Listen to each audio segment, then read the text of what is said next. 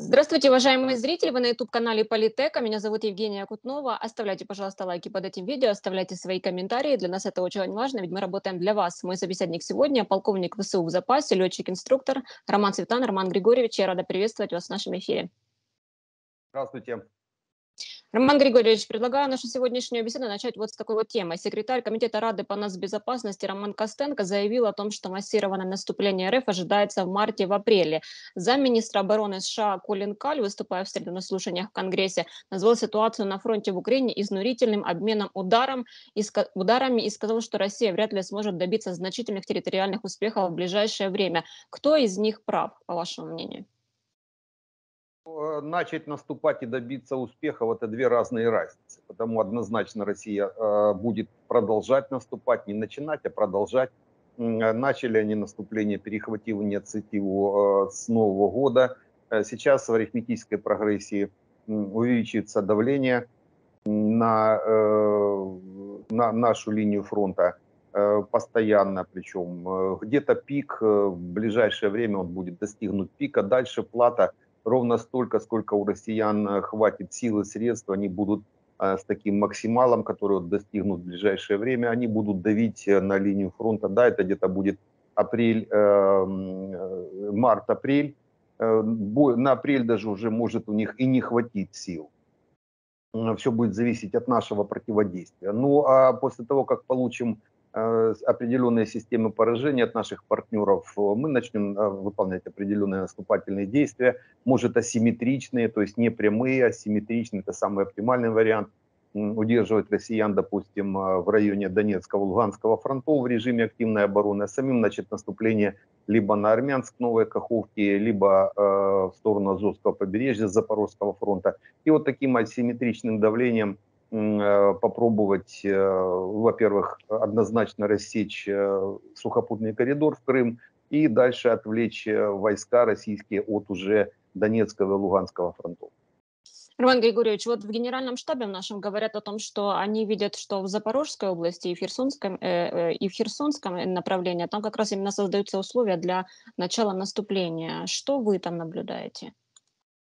А, так и есть. Э, в ближайшее время, э, после того, как погода более-менее станет суше, украинские войска, в принципе, могут пойти э, в движение, начать движение в сторону Азовского побережья. Еще раз повторюсь, там два направления, и оба, в принципе, приоритетные. И на Армянск сразу в Крым с Каховки, либо с любой точки после форсирования Днепра, либо из-под Орехова на Мелитополь с Угледара на Мариуполь неплохое направление, э, с того же Гуляйполя на, через Черниговку на Бердянск. То есть, в принципе, э, начать движение э, украинские войска смогут только по погоде и по заходу техники. Готовность в этом есть, потому россияне, естественно, понимая такого рода действия, они пытаются закопаться в основном в режиме обороны, они строят в режиме Э, не фронтальной, а в основном это точечная гарнизонная оборона, так называемая. То есть каждое село,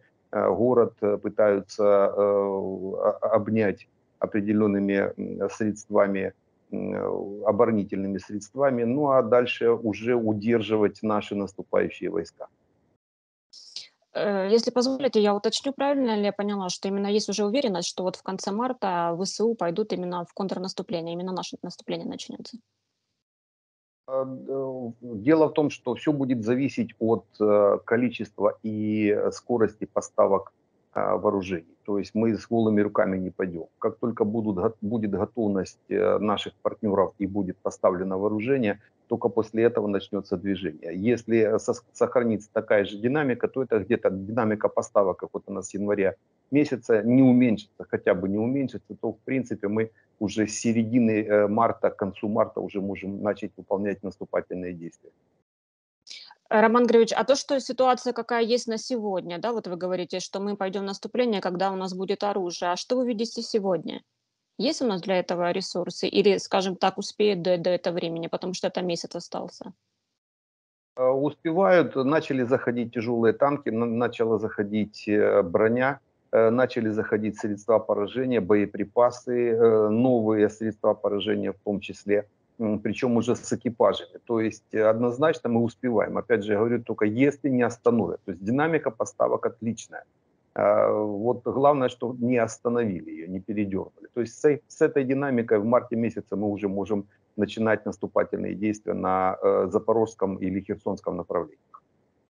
Известно также о том, что Россия подверглась массовой атаке дронов. Вы в одном из своих интервью сказали о том, что эта масштабная атака показала, что Украина начала массовый выпуск беспилотников, и россиянам стоит готовиться к систематическим визитам украинских дронов на территорию РФ. Так ли это? А, перед Новым годом был анонсирован постановку на боевое дежурство как минимум семи э, в течение месяца беспилотников, анонсированные министром обороны. А он-то знает, если уже говорит, то знает, что говорить. Э, потому после постановки, естественно, был массовый запуск, э, серийное производство некоторых видов беспилотников. Те беспилотники, которые сейчас показывают в российских пабликах, те, которые попадали – это беспилотники э, типа э, Укрджет UG-22. Хороший беспилотник, э, примерно такие же и все остальные. Да, да, дальность самолетного типа с двигателем, двухтактным двигателем внутреннего сгорания, то есть у него дальность полета до выработки топлива, она где-то больше тысячи километров в одну сторону, боевой радиус где-то около 700 километров, то есть он может сходить за 700 километров, сбросить определенные средства поражения и вернуться.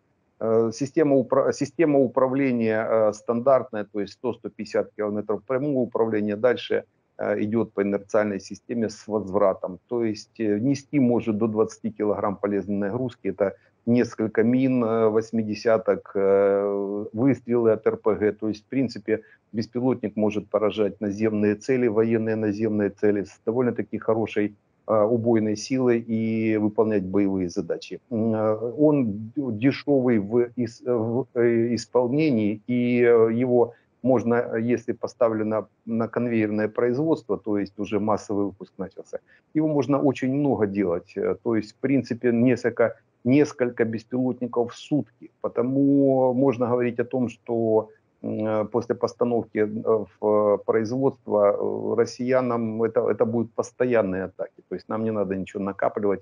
Они они могут сразу идти с колес и сразу выполнять боевые задачи. А так как ПВО российское дырявое, то есть они могут выполнять их на всю глубину боевого радиуса или полета в одну сторону.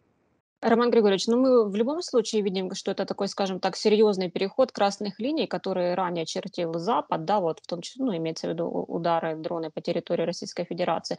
То есть, исходя из этого, да, а что дальше, если сегодня мы видим атаки, массированные атаки дронов, что дальше? Запад нам никогда не чертил красные линии по ударам а, по российской территории э, нашими средствами поражения. Своими, да, их можно, кстати, насчет этого понять. А на, для наших, для использования а, наших систем поражения никто никогда ничего не чертил. То есть у нас э, удерживали только их отсутствие. Удерживал. Как только э, появились э, такого рода средства, мы начали сразу ими работать, потому здесь никаких красных линий быть не может и не могло, в принципе. Мы суверенная страна, на нас напало государство, мы вправе эм, выполнять поражение военных объектов на любой территории, вообще не только этого государства, а мира, э, на любой территории любого государства военные объекты российские могут уничтожаться нашими средствами поражения.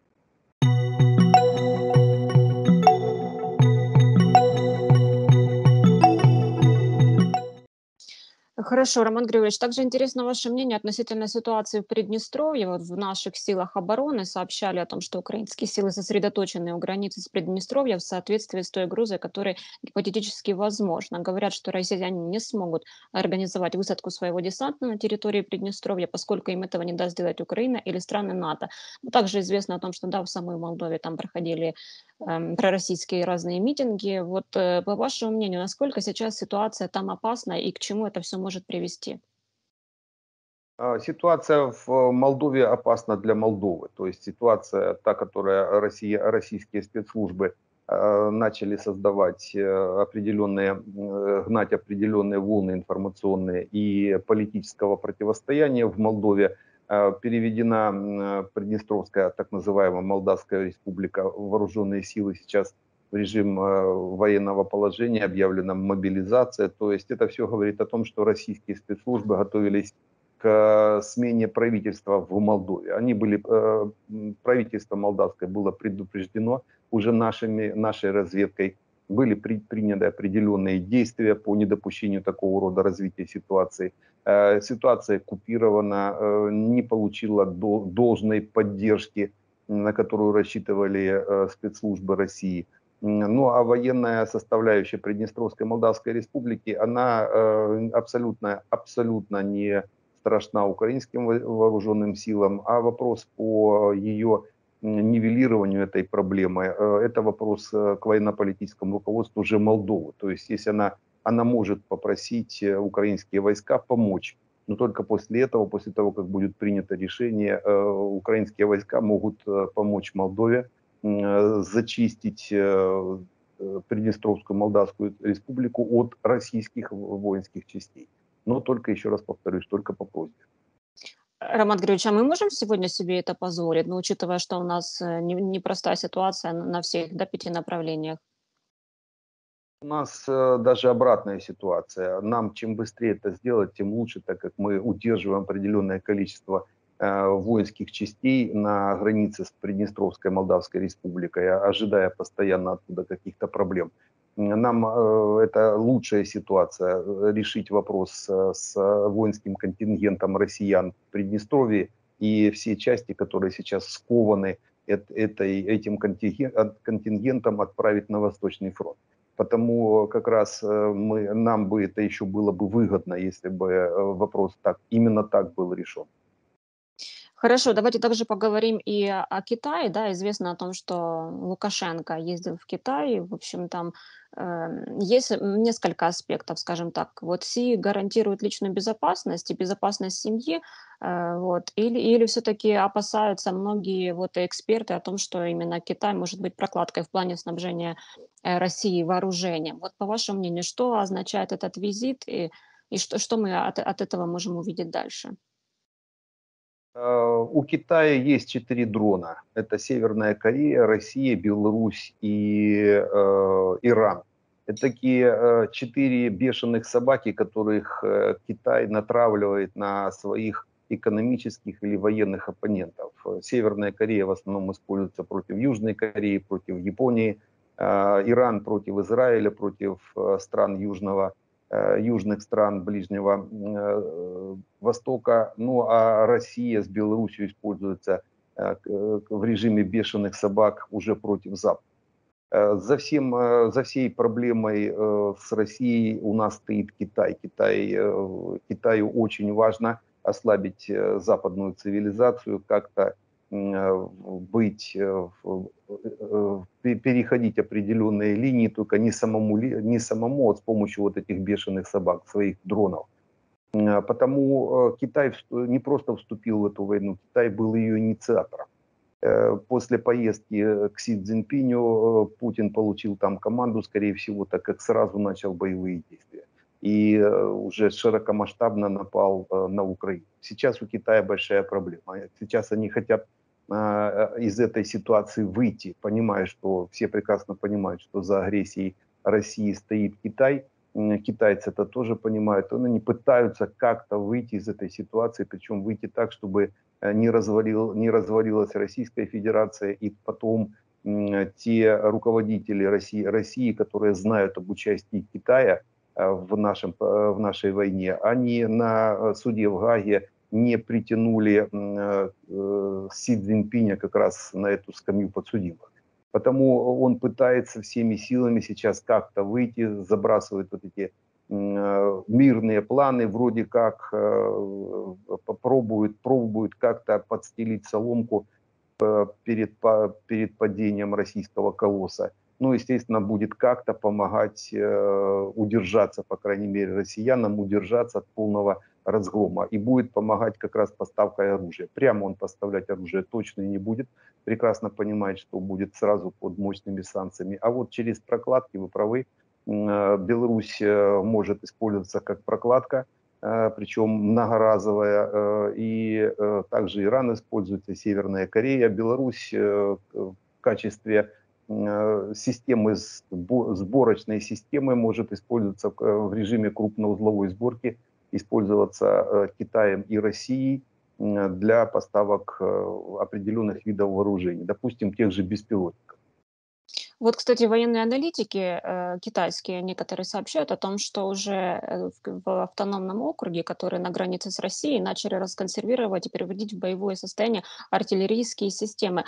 Э, вот, Роман Григорьевич, самая же основная вот опасность в этом, да, вот э, даст, не даст Китай э, оружие, вы говорите о том, что скорее всего даст, и вопрос же в сроках, да, тоже, и как это тогда может э, скажем так, существенно повлиять на обстановку на фронте и в целом на, на наступление, которое вот мы ожидаем в марте, да, что мы пойдем в наступление. Что тогда, как изменится ситуация?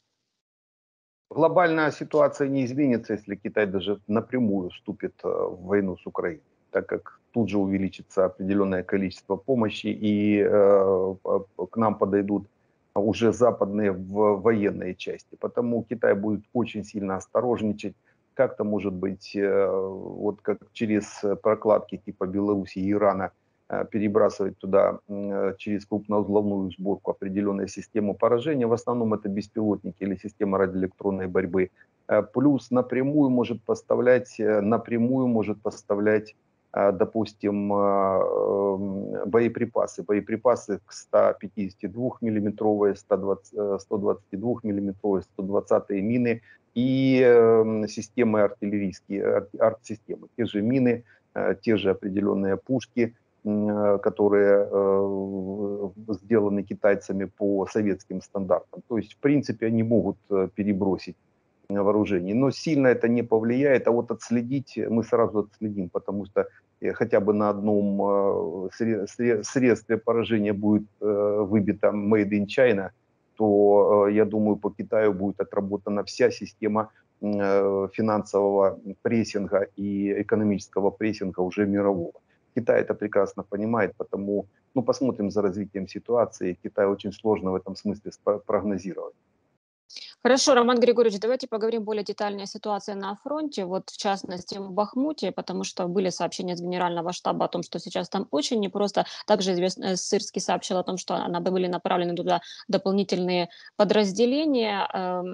Вот по, по вашей информации, какая сейчас там обстановка, э, чего пытается достичь враг, удается, не удается, и, в принципе, как вы видите эту ситуацию в целом, придется ли украинским защитникам временно, скажем так, отойти из Бахмута? Если этого потребует оперативно-тактическая обстановка, однозначно э, отойдем на высоты, будем удерживать, как это было в Солидаре, то есть э, отошли на высоты западнее и уже удерживать тот же, удерживаем тот же Солидар под плотным артиллерийским огнем. То же самое мы можем проделать и в режиме Бахмута. Просто это пока на данный момент нецелесообразно. А так как э, укрепрайон в районе Бахмута, он э, в связи, в связи с высотами в районе Часовьяра, он довольно-таки устойчивый. Э, и он устойчивый от окружения, и от выдавливания. Как раз э, прикрытие сверху э, с превышений, часовьярских превышений батарей нашей артиллерии и работа наших наземных частей в районе Бахмута – это хороший тандем для удерживания этого укрепрайона. И на данный момент там, да, там тяжело однозначно, так как до сих пор практически вся мощь российской армии направлена именно в район Бахмута. То есть та, там туда идут определенные линейные а, профессиональные части, перебрасываются российские техника, авиация подключается, артиллерия, причем э, с определенной нормой по выдаче боеприпасов, самые максимальные со всего линии фронта. То есть э, это вот они назначили эту точку, но именно как укрепрайон на данный момент, э, это выгодный укрепрайон для украинских войск отход, допустим, из, из э, Бахмута и подъем на высоты, он э, чуть ухудшит наше общее положение по линии фронта, так как э, россияне все-таки продвинутся ближе уже к Славянску и Краматорску. Потому пока есть возможность, пока не перерезаны нити снабжения, пока контролируются определенные и ракадные, и э, логистические цепочки, и есть э, полный боевой контакт и контроль нашей э, артиллерии по российским частям, э, нет смысла пока такой маневр выполнять. Хотя, еще раз повторюсь, если возникнет такая необходимость, этот маневр будет выполнен и, в принципе, не нанесет уж очень большого, большой проблемы именно этому, этому участку фронта. Если позволите, я все же уточню, Роман Григорьевич, но возможно вот э, взять в кольцо, да, и, ну, и, э, и вот как на данный момент вы видите обстановку там, что происходит? В кольцо там точно невозможно взять, так как Часовьяр, э, Часовьярское превышение, оно такое господствующие высоты, арта стоит, не, сам, сам по себе Часовьяр – и гарнизон Часовьярский, и то, тот укрепрайон, который уже есть в Часовьяре, он не позволит э, взять э, в кольцо сам Бахмут. А, принятие решения не из-за кольца может быть, а просто из-за очень мощного э, очень мощные системы поражения, которые россияне могут устроить в районе Бахмута, допустим, разнести в ноль укреп район наш, который сейчас состоит из тех же промок определенных частей зданий разрушенных. То есть если они уже полностью разрушат все, и незачем там, незачем а, будет спрятаться нашим или по крайней мере, укрепиться, тогда только под, э, подым, подымемся на превышение. А пока этого еще не произошло, нет никакого смысла это делать, то есть уходить из э, Бахмута. Но это опять, это оперативная обстановка, э, там командиры, которые принимают решения, они, они будут его принимать. Но еще раз повторюсь, это будет не, не из-за окружения как такового, окружение там просто невозможно. Хорошо, если говорить, э, вот, скажем так, о живой силе врага, «Новая газета» пишет о том, что срок жизни российского оккупанта в Украине примерно 60 дней. Роман Григорьевич, мы видим, что э, наше командование сейчас приняло решение направить туда дополнительные подразделения. Мы прекрасно понимаем, что с той стороны, да, вот их намного больше. Вот э, на поле боя э, насколько это существенный и важный фактор, и можно ли это тогда говорить о том, что это преимущество врага?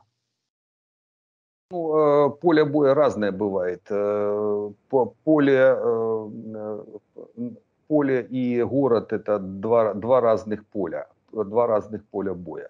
Укрепрайон и, допустим, хороший укрепрайон и временный укрепрайон – это два разных укрепрайона, естественно, два разных поля боя. Сейчас на данный момент именно Бахмут с превышениями часовьярскими – это хороший укрепрайон. Очень сложно россиянам его взять, пройти. Э, это мы прекрасно видим. Они, они э, уничтожаются об наш укрепрайон с большой скоростью. Там по роте в сутки, э, по 100-150 человек в сутки э, уничтожается российских войск. Нельзя развернуться техникой, э, специфика местности и, и контроль ар артиллерии. То есть они, они, они, нельзя подойти авиацией они пытаются, но наша система, армейская система ПВО хорошо отрабатывает. Там э, уже не один самолет, э, отминусованный вертолет. И э, остается одна опция у россиян с помощью живой силы э, проталкивать, продавливать нашу линию обороны, то, чем они и занимаются. Но это очень большие потери для россиян. А для любой армии, допустим, э, которая выполняет боевые задачи, Первая задача – это уничтожение армии противника, потому для нас оптимальный вариант уничтожать как раз россиян там, именно в районе Бахмута, так как они э, сами, сами на линию огня выходят, то есть они сами попадают под э, наши системы поражения, за ними бегать не надо.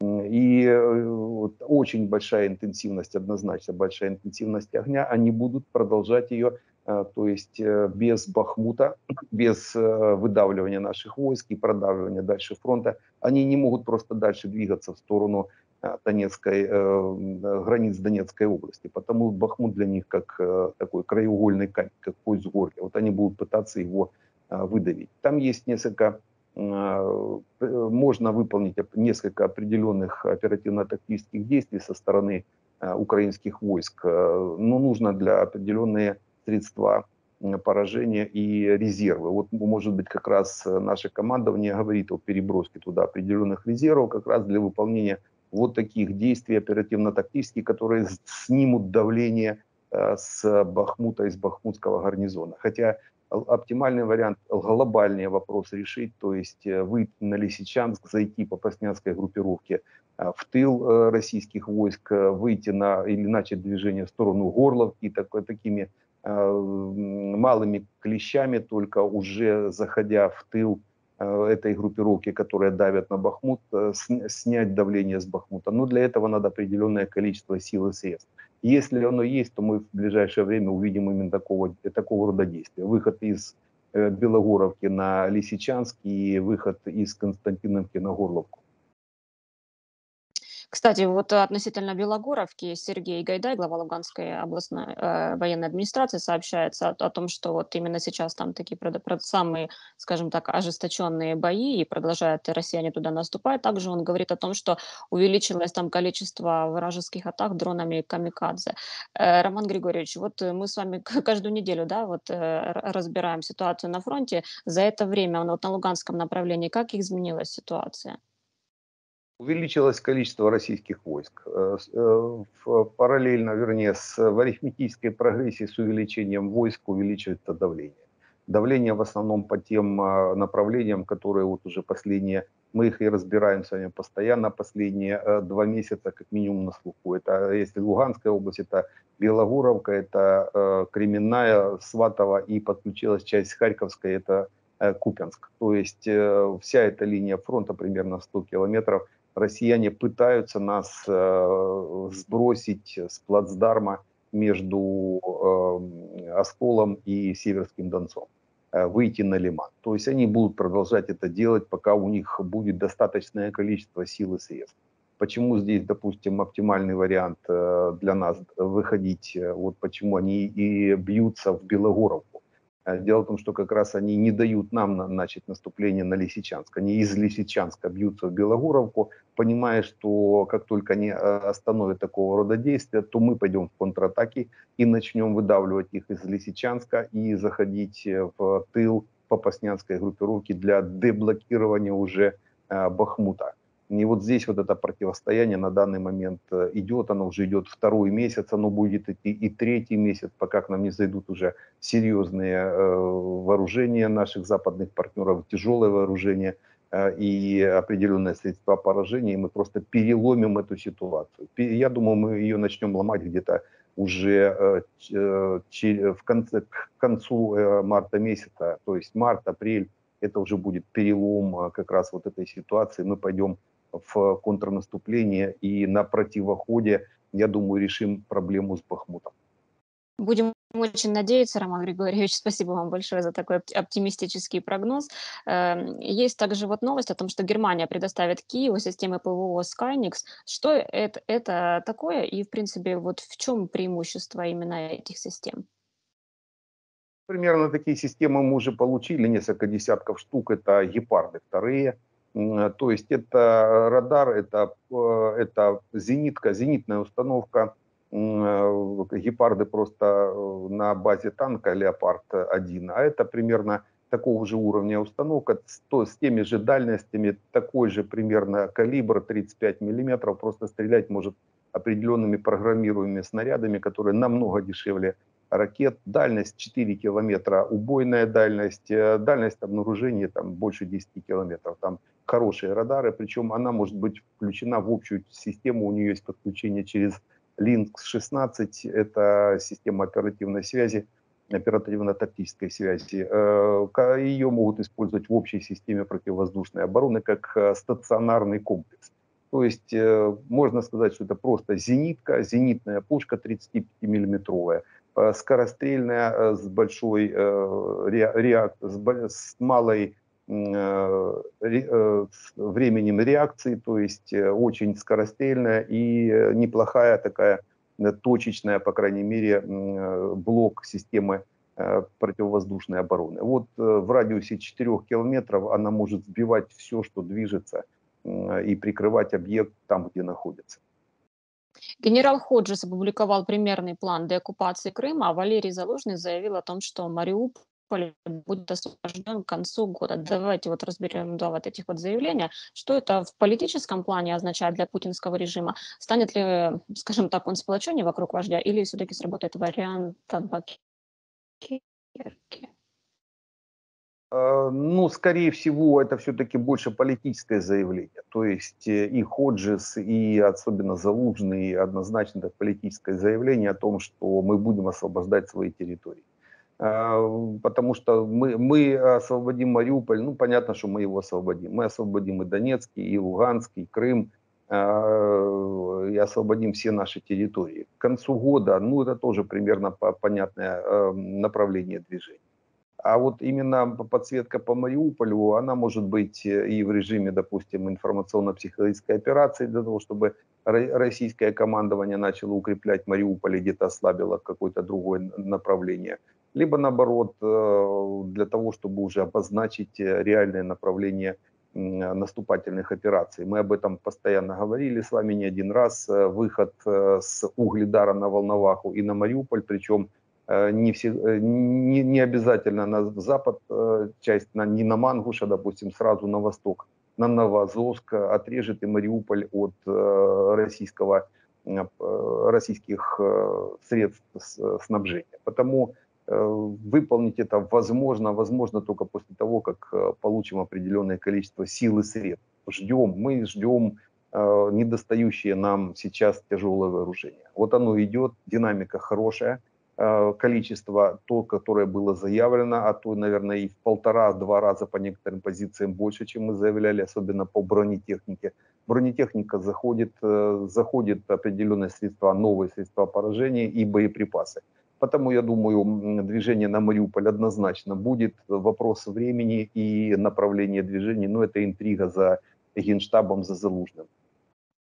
Роман Григорьевич, если позволите, еще один вопрос. Путин заявил, будут московиты какие-нибудь, уральцы и так далее. Так он написал планы Запада. Ну, собственно, да, возможно, это предрекает развал России, чувствует, да? Вот э, что вы думаете об этих словах Путина? Чувствует, да? А, дело в том, что россияне прекрасно понимают, из чего соткана эта империя российская. Особенно хорошо это понимают руководители. То есть военно-политическое руководство России прекрасно понимает, э, как, чем они удерживают эти регионы. Э, где-то страхом, где-то экономическими э, моментами. И они прекрасно знают, на какие части будет разваливаться Российская империя – после того, как эти механизмы, которые их скрепляют, еще раз повторюсь, это страх, внутренний страх, то есть это э, внутренний эм, определенный репрессивный аппарат, э, и это финансовые моменты, которыми э, российский центр как-то прикармливает те регионы, которые давно, давно бы уже могли отойти, типа Чечни, допустим, или Кавказа как минимум. Потому, э, понимая, что э, такие механизмы из рук будут выпадать, они уже знают, э, это уже подсознательное, скорее всего, уже подсознательный выброс информации, разделение России на определенные части. Здесь Путин прав однозначно, делиться Россия будет на Урал, на, Моск... на Мос... Москалей, на Сибирь, Э, Бурятию, Башкорт, Башкортостан, Татарстан, э, Кавказ, э, может быть Питер, Калининград, Сахалин. То есть будет разваливаться Российская империя, Путин это чувствует. Он это не то, что предрекает, я бы сказал, он это уже прогнозирует в прямом смысле слова и уже начинает программировать россиян на их дальнейшее название. То они были россияне, теперь они будут, допустим, сибиряки или уральцы.